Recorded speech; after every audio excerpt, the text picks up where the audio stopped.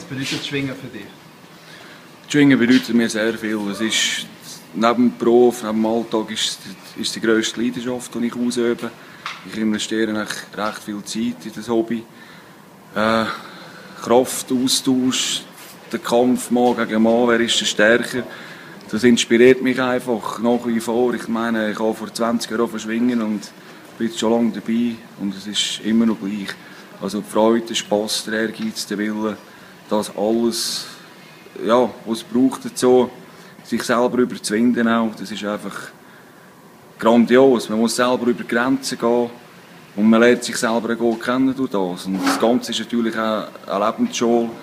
Es hat mit Fairness zu tun. Man lernt gewinnen, man lernt mit Niederlagen umzugehen. Äh, ich habe wirklich nur immer profitieren vom Schwingsport. Was ist Schwingen für dich? Schwingen ist für mich ein schöner Ausgleich neben dem Privatleben.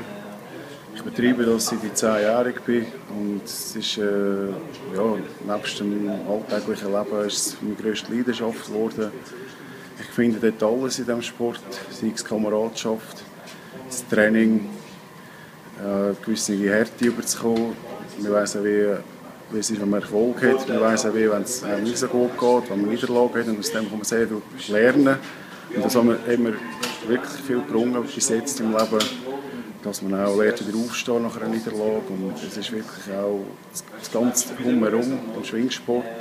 Man kann sehr viel profitieren. Und es ist eine super Kameradschaft, nebst der Familie, die man haben die auch immer dabei ist. Also, wenn es noch schwer oder ein anderer Leben, würde ich es genau gleich machen.